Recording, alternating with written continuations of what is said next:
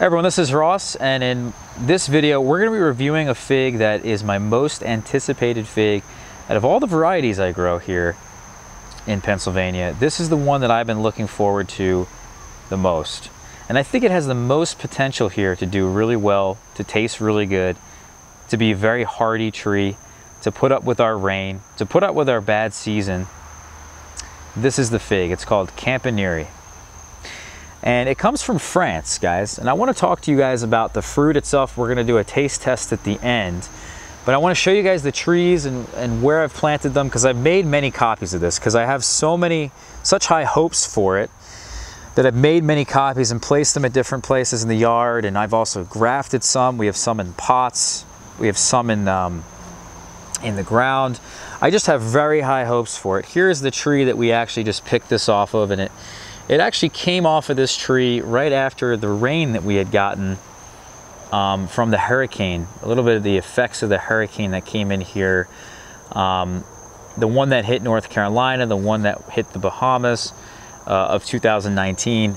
Uh, I forget the name of it, but here you can see the tree that we've we actually grafted onto this rootstock. Um, I did the cleft graft. You can see the the graft uh, union right here. It's on really not the most vigorous, healthy, or even the strongest or oldest rootstock. But I have a feeling because you graft these trees onto an older tree, yeah, this part of the wood, the new wood here is not really the, uh, the oldest, but this is a pretty good representation of what the fruit, um, you know, is gonna show me in the future. Um, you can see the leaf structure here. It's got a really, really nice feel to it. It's got that sandpaper type leaves, um, that furry type leaves that actually the hardy Chicago types have, which is one right next to it. This is my Azores Dark right next to it. And believe it or not, it actually has a similar-ish leaf pattern too. And I wonder if they're related. I, I have a feeling, I have a theory that leaves that have, or trees that have these types of leaves seem to just be a bit more hardy or maybe a bit more resilient. I don't know exactly how to put it, but you can see another graft over here, what we did. We grafted this tree as well. Um, and in fact, I actually have it grafted on to a rootstock that's very vigorous. So we'll see if that aids in any difference between the two different trees here. But I also grafted on the same tree, um, Smith. So we'll see if there's any different, you know, little differences there between them. But the point is, this is a very old variety. That was kind of what I was getting at here, is that this is a very old variety from France.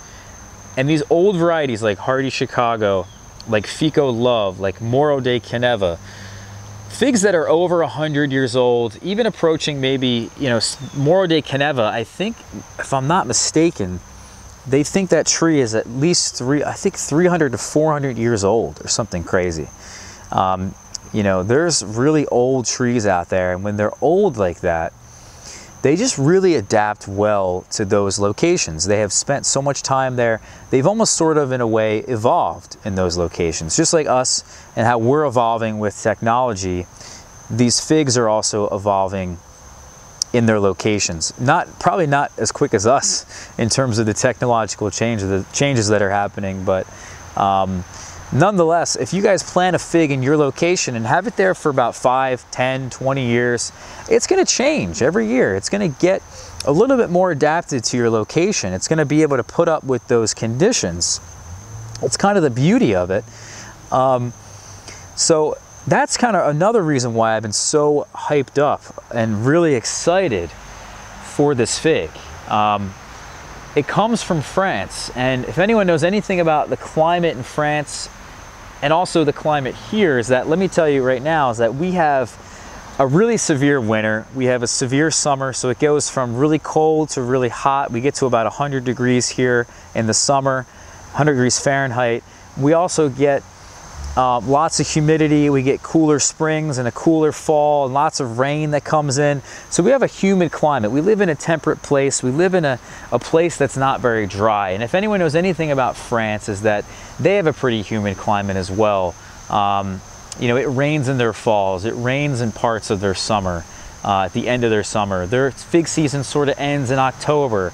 You know, they have a more mild climate than us. They have more mild temperatures in the wintertime, but also more mild temperatures in the summertime. So they're really, in my opinion, the best source of, of genetics from anywhere else in the world. Um, you know, I think a lot of people have biases towards different countries. You know, I'm Italian, so I love Italian figs, or somebody else might be from the Middle East and they love Middle Eastern figs, you know. But I really do believe that these French figs have some sort of edge here in this climate. Out of the varieties that I grow, a large majority of them that do well here are from France. And I've specifically chosen that to put in a lot of research and time and energy into researching these French figs to find out which ones of these would really do well here. And that's the conclusion I came to, is that Campaniere is one that is very old, it's adapted well, it has survived all the elements. It's survived, you know, 100 year colds, 20 year colds, 50 year colds. In fact, very recently, I think in 2012, Campaniere has survived negative four degrees Fahrenheit with no damage. That is unheard of. That is ridiculous. Um, so for that reason, I've gone out of my way to get as many cuttings, as many plants of this as I possibly could. And I planted them everywhere. Here's one right here that we planted in the ground. We just literally stuck a cutting in the ground. And this is the, actually the top of the cutting. We had a, another limb here that actually broke off but it's grown from this top node here into a pretty nice sized tree. And what I can do is take cuttings off of this and what I'll probably have to do for the first year, like most of these, is cut these guys back um, and then cover them just to ensure that the base is protected. Let me show you guys a couple more trees right now. I have, believe it or not, two in the front um, planted out in the open that are not going to get, I think, any protection. I think I'm deciding the ones in the front, we're just going to see how they do in the wintertime. If, if indeed they are as hardy as they should be. But you know what? These figs, guys, are not going to survive the first year most of them. When you plant them in the ground, they need some time to really dig in, and a really severe winter is not going to help them do that. They really need some time more of a mild winter in that first year and that would really help them out. So I may protect the base on some of these, I'm not sure.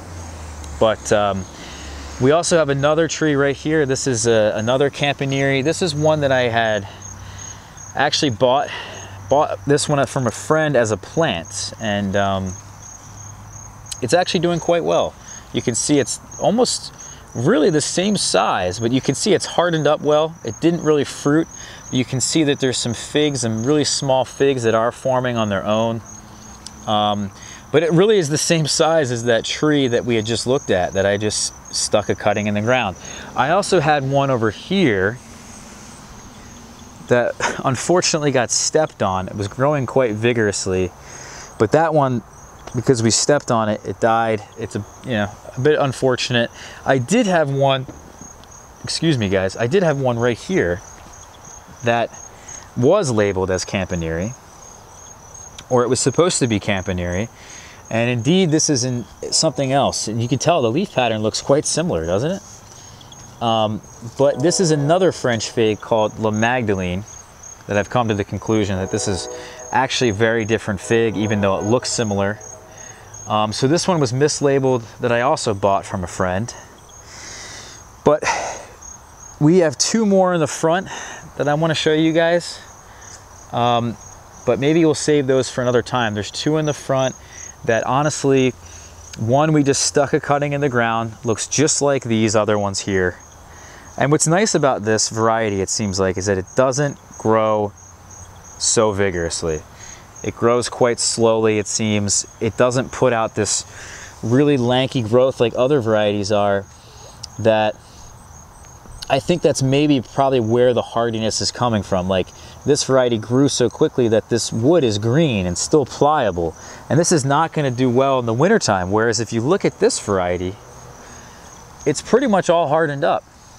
It's all ready to go. If the if a freeze, a hard freeze were to come in tomorrow, you know, you would see exactly that this fig would actually do pretty well, you know, whereas all these other ones, I mean, look at that. It's just not a characteristic that you really want in these figs. And that's why I've taken off the tips and tried to slow down the growth on some of these trees. Um, so I have a feeling that's a big part of why Campaniere is indeed as hardy as it is.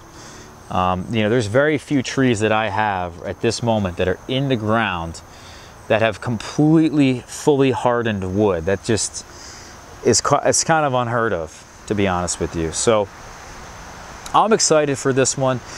It definitely has good rain resistance so far here in my climate. Definitely has good rain resistance in France. It's very early, by the way. We didn't mention that, but it's one of the earliest figs that grows in France in a collector's collection who found this fig in Thierry uh, Figs of the World. This is one of his earlier figs that ripens in August for him, um, early August or late July in France, which is a, a very early variety. He highly regards it for flavor. He also mentions that um, the data there that on its hardiness surviving negative four degrees Fahrenheit. You can go online and actually read all about it on his website. Maybe I'll put a link to that in the description. Um, so I've just been really excited. We made many copies of this, try to get as many plants as I could. I have air layers on different trees to see if we can get more of them. And uh, yeah, this is just one that I'm really, really excited for. And I'm gonna taste it now and talk to you guys a little bit about the flavor because it's not just enough, in my opinion, to have a fig that will survive the winter here. But then again, excuse me guys, it's not just enough to have a fig that will survive the winter, but although if it does survive the winter, that's incredible on its own. I mean, that is just in its own right. I mean, an absolute winner. Everybody should have that fig, right? But what if it was also extremely tasty? And that is honestly what I'm picking up here with this particular beauty. You can see the backside, it's got a yellow skin but it's starting to get dark, which I imagine when it matures a bit more, should finally finish itself out. It should become a more of a gray color, more of a purplish color, but I think this is more the base color of the fig. Again, you can all check this out on Thierry's website, and the inside is a dark red. And uh, what I've noticed, it's got a really nice pulp, a dense, jammy pulp to it.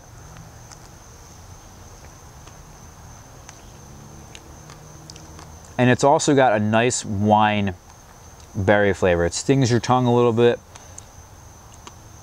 Gives you that nice lingering flavor on your palate.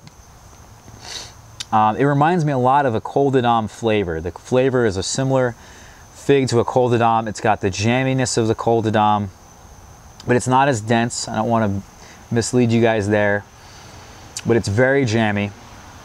It's very good for the first fig off of that tree, that variety that I've ever tried, it's already a four, which is un, unbelievable. Um, in fact, I may even, I would say it's a four and a half out of five. Um, very few figs I think can beat that, guys. That is really, really good.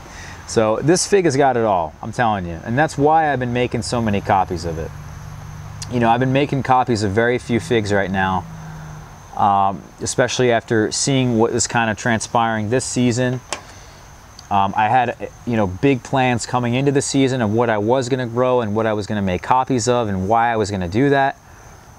Um, some things had changed. Some things I went in some other different directions.